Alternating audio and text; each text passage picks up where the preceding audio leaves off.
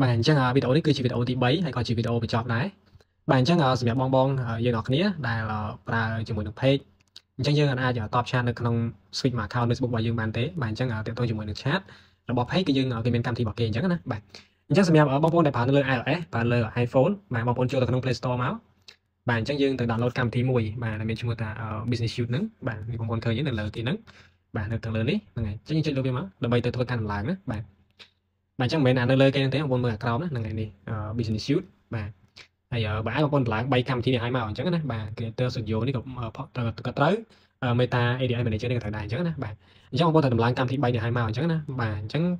សម្រាប់ iOS សម្រាប់ iPhone ហ្នឹងគឺយើងប្រើតែពីកម្មវិធីនេះគឺបានហើយគឺយើងអាចតបឆាតជាមួយភ្ញៀវបានទេណាបាទប៉ុន្តែអាមួយនេះគឺបើសិនជាបងប្អូនប្រើលើពពួក Android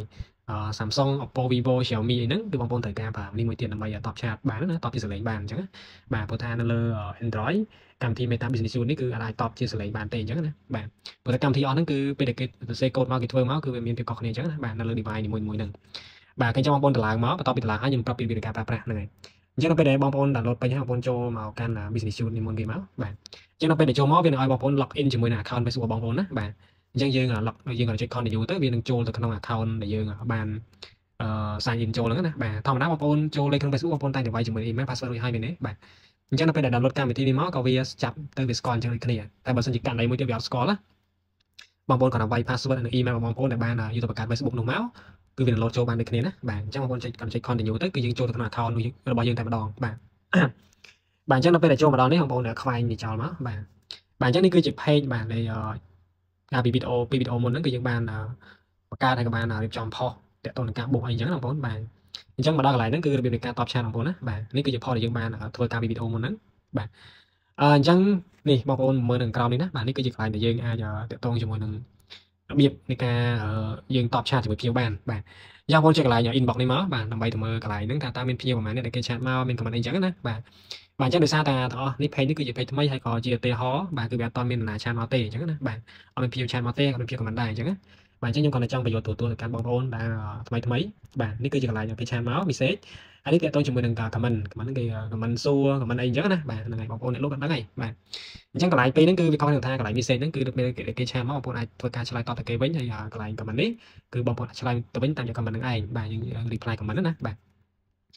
បាទអញ្ចឹងវីដេអូហ្នឹងគឺដូចជាអត់មានអីទេតទៅជាមួយនឹងការប្រើ business suite ឬក៏យើងតបឆាតហ្នឹងណាបាទហើយចាំមួយនេះស្អីគេបងប្អូនបាយឆ្ងល់តទៅជាមួយ AD manager នេះ បាទអញ្ចឹងបងប្អូនបើកមកដូចគ្នាមកបន្ទាប់មកបងប្អូន log in ជាមួយនឹង account យើងដែលខ្ញុំប្រាប់អាមិញអញ្ចឹងណាប្រាប់តទៅជាមួយនឹង business suite ហ្នឹងបាទអញ្ចឹងបងប្អូនចុចគាត់ចុច continue មកដើម្បីចូលទៅក្នុង account របស់យើងហ្នឹងបាទអញ្ចឹងនៅពេលដែលចេញអញ្ចឹងមកបងប្អូនចុចកន្លែងហ្នឹងក៏បានខុសពីអត់សំទោសចុចចំកន្លែងហ្នឹងមកឲ្យឈ្មោះ account របស់យើងហ្នឹងណាបន្ទាប់មកបងប្អូនចុចពី continue នេះមកបាទអញ្ចឹងនៅពេលដែលចូលមកដល់នេះមកដោយសារតែ account ហ្នឹងគឺខ្ញុំធ្លាប់ប៊ូបាទខ្ញុំធ្លាប់ប៊ូហ្នឹងហើយអានេះឥឡូវនេះក៏គឺយើងធ្លាប់ប៊ូដែរអញ្ចឹងណាបាទ ធ្លាប់ប៊ូមុនហ្នឹងប៉ុន្តែខ្ញុំបាត់ចោលវិញខ្ញុំមិនចង់ឲ្យដើរទេមកកាន់ឲ្យដើរទៅវាកាត់លុយខ្ញុំអញ្ចឹងណាបាទអញ្ចឹងវាស៊ីលុយបាទអញ្ចឹងអាហ្នឹងយើងមកមើលចង់នឹងថាការប៊ូរបស់យើងហ្នឹងគឺវាដើរឬអត់អីអត់ហ្នឹងគឺយើងមកមើលខាងក្នុងបងប្អូនណាបាទអញ្ចឹងបើសិនជាវាអត់ដើរទេវាកន្លែងវាដាក់តែ off អញ្ចឹងដោយសារខ្ញុំបាត់ទេតែបើសិនជាយើងបើកមកវិញបើសិនជា app ហ្នឹងវា interview ឬក៏វា active គឺវានឹងចេញបែបនេះឃើញទេបងប្អូនឃើញទេចឹងយើង refresh បន្តិចមកបងប្អូនអូពីលើចក្រមប្រាំតិចមកឃើញទេបងប្អូនឃើញទេនេះអានេះវាថា active បងប្អូនឃើញទេ active មើលថាវាដើរហើយវាកំពុងតែរុញឲ្យភ្ញៀវឃើញហើយអញ្ចឹងណាបាទរុញឲ្យ អ្នកដតីឃើញពីបុករបស់យើងហ្នឹងបាទ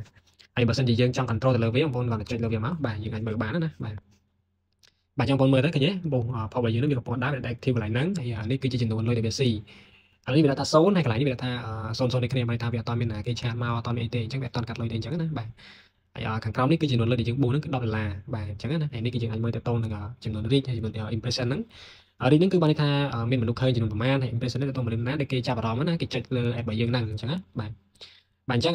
ដូចជាអត់មានអីទេបាទតកតងជាមួយនឹងការមើលបាទយើងសង្ឃឹមថាបងប្អូនយល់ហើយស្វែងយល់ខ្លួនឯងបន្ថែមទៀតបាទអញ្ចឹងបើសិនជាបងប្អូនកន្លែងណាដែលមិនយល់មិនច្បាស់បងប្អូនអាចធ្វើការ comment ទៅបាទខ្ញុំមានពេលខ្ញុំមានឱកាសខ្ញុំនឹងធ្វើការធ្វើវីដេអូថ្មីថ្មីបន្ថែមទៀតធ្វើការបញ្យល់ដល់បងប្អូនដែលអ្នកថ្មីថ្មីណាបាទតែគាត់អត់សូវច្បាស់សូវយល់ហ្នឹងគាត់បានយល់កាន់ច្បាស់បន្ថែមទៀតបាទប៉ុន្តែខ្ញុំគិតថាវីដេអូដែលខ្ញុំធ្វើនេះខ្ញុំគិតថាប្រហែលជាអាចជួយបងប្អូនបានតើតើបងប្អូនដែលថ្មីថ្មីណាបាទបាទអញ្ចឹងនេះកន្លែងនេះវា active អញ្ចឹងបើសិនបងប្អូនចង់បាត់វាបងប្អូនគាត់ចុចលើវាញ៉ាត្រេ3វិញមិននេះបងប្អូនឃើញទេ នេះសញ្ញាត្រេ3នេះកន្លែង easy type ដែលខ្ញុំបបលហ្នឹងបាទចុចញ៉ាត្រេ3នេះមកបងប្អូនគាត់តែចុចនេះកន្លែងប៊ូតុង post file ហ្នឹងយើងយើងចុចលើវាមកគឺវាបាត់មកវិញហើយអញ្ចឹងបាទអញ្ចឹងមានតែ add ហ្នឹងគឺយើងបាត់ចោលតែម្ដងបាទហើយបើសិនជាយើងចង់លុប add ហ្នឹងចោលបើទៀតយើងចង់បាត់យើងចង់លុបចោលកុំចង់ទុកឲ្យញ៉ៃញ៉ៃវិញហ្នឹងណាបាទឥឡូវតែខ្ញុំលុបអាមួយនេះចោលបាទនេះសិតប៊ូចាស់ចាស់របស់ខ្ញុំទេហ្នឹងហើយអឺខ្ញុំចង់លុបមួយនេះចោលចោលអញ្ចឹងដើម្បីលុបបានចុចញ៉ាតេ3ដដែលមកនេះបងប្អូនឃើញញ៉ាតេ3ខ្ញុំ copy easy text ហ្នឹងចុចមកតមកទៀតបងប្អូននេះមើលនឹងក្រោមនេះឃើញទេ មានពាក្យថា delete នេះ delete នឹងមកយើងចុចមកគឺវាលុបចោលហើយអញ្ចឹងបាទយើងចុចមកអញ្ចឹងបាទអញ្ចឹងគឺថា add ហ្នឹងគឺទៅហើយបាទយើងបានលុបវាចោលហើយអញ្ចឹងណាបាទបាទអញ្ចឹងគឺអត់មានអីប្រហែលទេបងប្អូនបាទអញ្ចឹងព្យាយាមមើលទៅមើលសារចុះសារឡើងទៅកន្លែងណាអត់ច្បាស់បងប្អូនមើលម្ដងជាពីរដងទៅបងប្អូននឹងយល់ហើយអញ្ចឹងណាបាទបាទអញ្ចឹងវីដេអូនេះគឺមានតែប៉ុណ្្នឹងទេអរគុណបងប្អូនអ្នកគ្នាដែលបានទស្សនាវីដេអូហ្នឹងតាំងពីវីដេអូទី1រហូតដល់វីដេអូទី3នេះបាទអញ្ចឹងបើសិនជាមានកន្លែងណាបងប្អូនអត់តន់ច្បាស់អត់យល់បាទបងប្អូនធ្វើការ comment នៅក្រោមវីដេអូហ្នឹងមកបាទឬក៏បងប្អូនអាច chat មក account Facebook ផ្ទាល់ខ្ញុំក៏បានដែរបាទ account Facebook ខ្ញុំ